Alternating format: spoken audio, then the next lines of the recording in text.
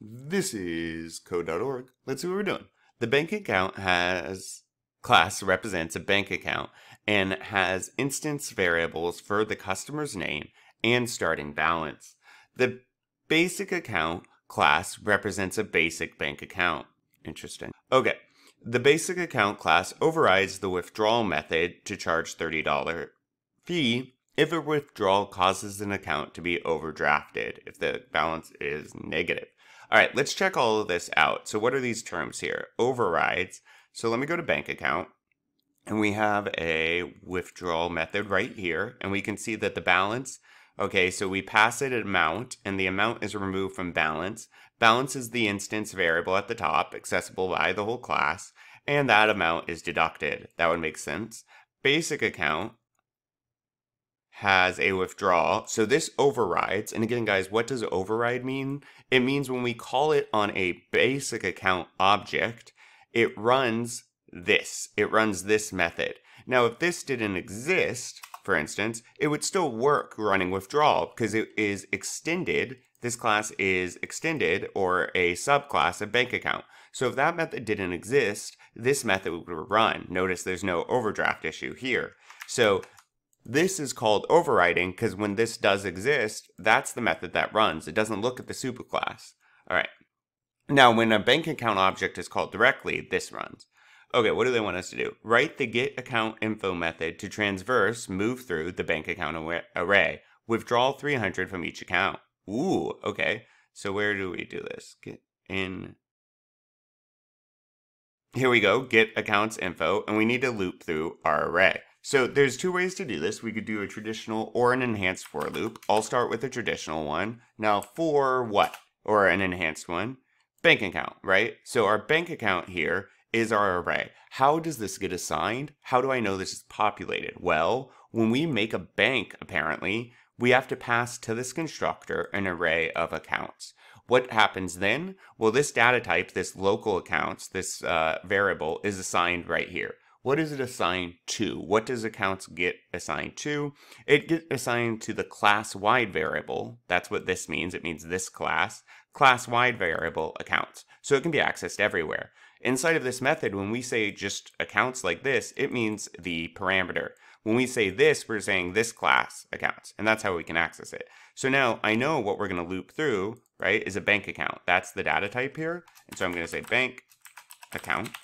And now what I can call this anything I want for my variable here. I'll just say, yeah, I'll just say account. And then what am I going to do? What list is accounts apparently? Oh, I don't like that because just an S different could be confusing. So I'm going to just do, I don't know, ACC for account, just because I don't like how it becomes less readable in that way. All right, now for a traditional for loop, which is a million percent correct, I want to throw one down.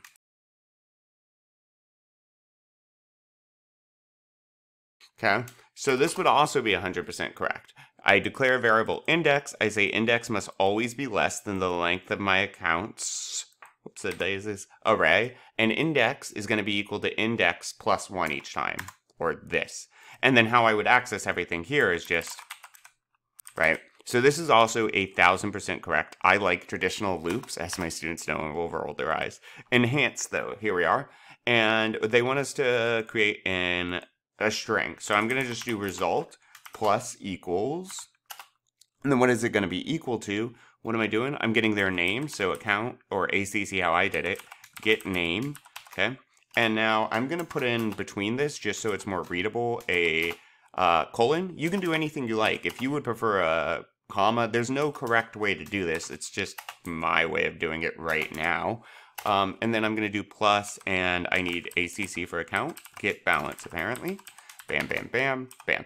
Now, these are all going to be mushed together right now, which I don't like. So I could do a few things. Maybe I want to do a comma or a semicolon between each of these. I think I'll stick with, I'm going to do a new line character. Totally up to you. Keep in mind with the comma, the last item in your list would still have a comma if you go that route. So, all right, after it.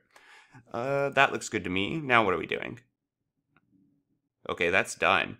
Create an account balance array. Okay containing bank accounts. All right, so my console, oh, right here, cool. So bank account is the data type, and it's an array, so I got to do square brackets, and bank accounts, I'll call this, and then equals, and I'll populate it immediately using curly brackets. That looks good. And now I need to instantiate a bank account with the bank accounts array. Oh no, a bank object. Yep, so we pass the constructor, and I'll just call this my bank. Yeah, I got a bank. I was never allowed to be the banker in uh, Monopoly because they cheated. And my sisters thought they were better at math than me, or at least that's what they said, but they weren't. I'm really good at math. But anyways, um, what was I saying? Oh yeah, Monopoly. No, banks. Uh, all right. Okay, that looks good. And now call the get info method and return. Okay, so I'm just gonna print this out. System.out.print or println, kind of up to you. And then moment of truth. Do I need to debug or has it worked? Bam, it worked. And so what's going on here? Well, we pass it this array of bank accounts. Okay. Now notice there is basic and standard bank accounts here, but it doesn't matter because they're all inheriting or they're all part of the bank account. So the hierarchy means this bank account class, the bank, the basic account is extended from or is a subclass of bank account, which is why I can make a bank account array and include both basic account objects and bank account objects. And then I can use this method, uh, wait a minute. And then I create the bank. I pass to the bank an array of bank accounts, right? Even though some are basic accounts, this is fine. And then what do we do? We iterate, we loop through all of the data, and we append it to this string, and then I return it. Once I return it, I smack it out by printing it to the console. Pretty cool.